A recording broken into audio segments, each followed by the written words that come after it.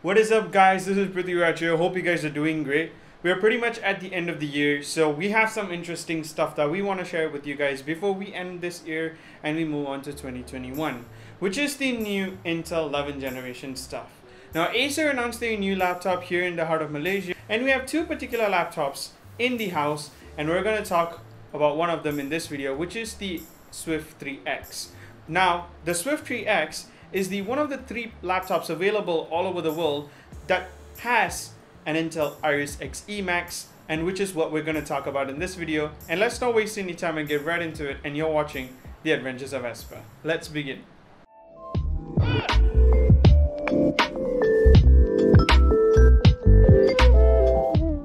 Now, here is the Acer Swift 3X. We're not going to talk about pretty much the design or the keyboard or pretty much the trackpad and whatsoever because I'm sure you can actually read that in the full review which is linked down in the description below. But what we're going to talk about here in this video is definitely the specification that's paired under the hood, which is the processor and mainly we're going to talk about the Intel Iris Xe Max, which is a dedicated discrete GPU that we are literally getting from Intel for the very first time on a Windows laptop. Now, Discrete GPUs have been in the market for quite some time. In fact, NVIDIA has been doing them for a longest period of time. We have seen them making some of the amazing discrete GPUs in thin and light laptops because they offer really good performance for the profile of laptops that exist in the thin and light realm. But that's all it does because if you need really need more power, you're obviously going to resort to something that's more capable to do so.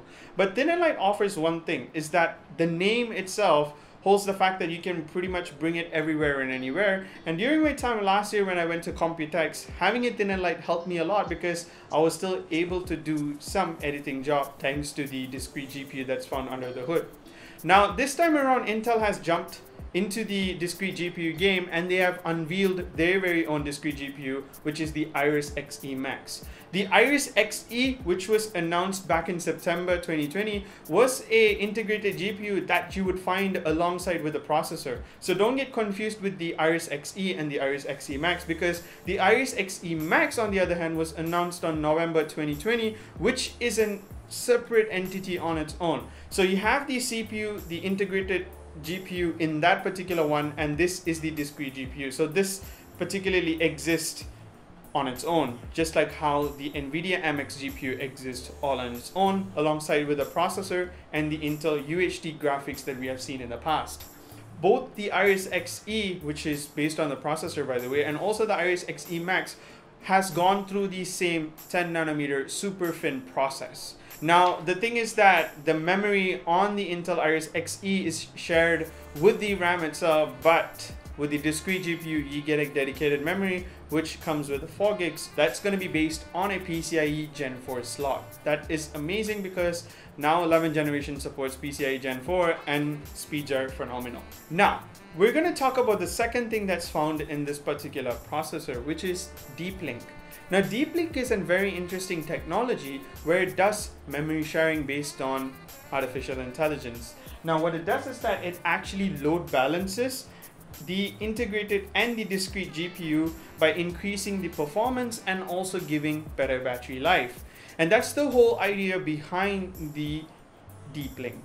Now, say for instance, if you're using a graphics demanding application and say if your processor has peaked in its performance, it will actually use the GPU, the integrated GPU, and also the discrete GPU, share the memory across to increase the performance so that you get a better output.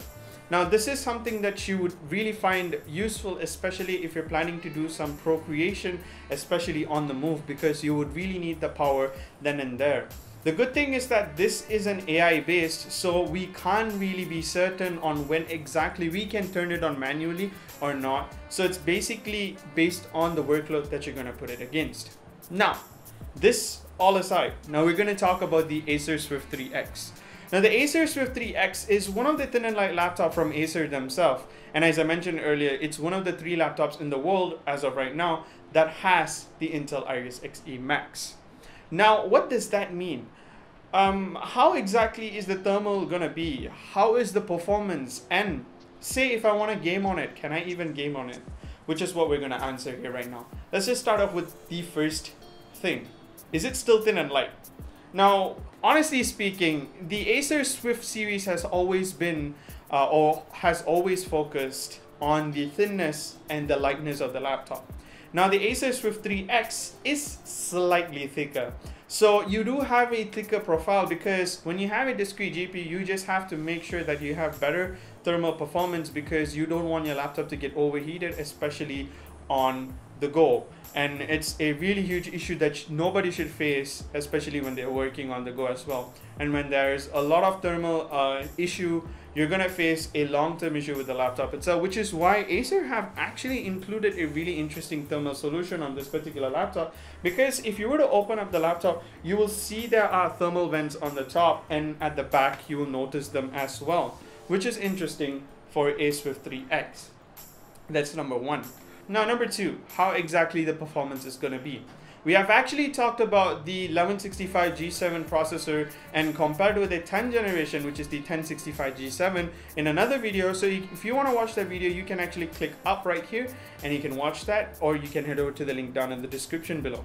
Now the GPU performance on this particular laptop is what that matters the most.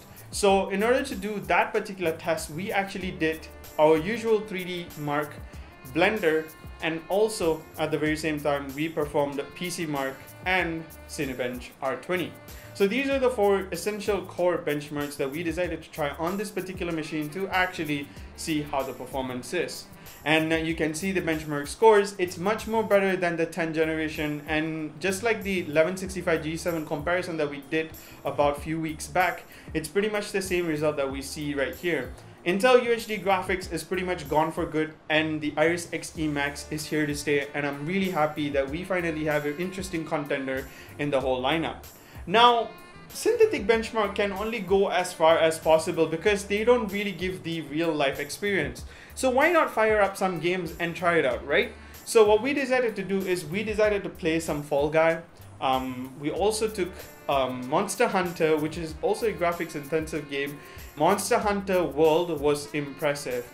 You have to make sure that you tone down the graphics to low and it's still playable at best. And honestly speaking, the gaming, back in the day, if you were to use an Intel UHD graphics, you could not have possibly imagined that you can actually game on a thin and a laptop. Now, that particular chance is here because with the Iris Xe Max, there is a little bit of gaming room for there. So even when you go into the settings, when you try to toggle it, Monster Hunter manages the memory really well and it actually lets you know that you only have 4 gigs of VRAM so it'll only take about half which is about 1.5 to 2 um, and it makes sure that it allocates the memory accordingly so your performance doesn't get a huge hit. So make sure to tone down the settings as much as possible.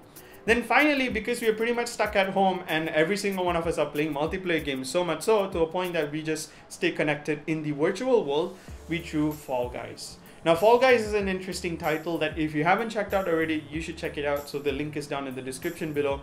We tried the game. The game was pretty much easy to play and it was fun to play on the machine as well. Now, during trying any of these kind of games uh, on this particular machine, Monster Hunter was the one that really took a hit in the thermal because it really shot up pretty much high. Whereas playing Fall Guys and pretty much playing all the other games that requires very minimal graphics attention or very minimal demand in the graphics department kind of shows that that game are easier to play. But for what it's worth, if you were to use or if you were to play older titles like Devil May Cry, which is the DMC by the way, the laptop is able to handle that pretty much well in my opinion and you can actually try some of the games as well on this particular machine and all the titles are pretty solid. Even we tried grid 2 on this particular laptop was pretty fun to play. So yeah that's basically it. So this is something that we really wanted to talk about because now intel is definitely entering into this game pretty much hard and strong. Knowing that the 10th generation processor and we were really disappointed by that because Team Red literally swooped in and took all the market shares and also took a lot of attention. But with that said, 11th generation processor is definitely better. And number two, the Iris Xe Max is gonna give you the best performance that you can ask from a discrete GPU on a laptop. And this means the competition is gonna get fierce, especially with Team Green and Team Blue in the discrete GPU. So that's all you need to know about the Iris Xe Max. Now, if you want to learn more about this particular laptop, you can actually head over to the link down in the description below. Now, that's basically it. Thank you so much for watching this video. Huge thanks to Acer Malaysia for making this video happen. Until then, this is Prithviraj signing off. Take care, and I'll see you guys real soon. Bye!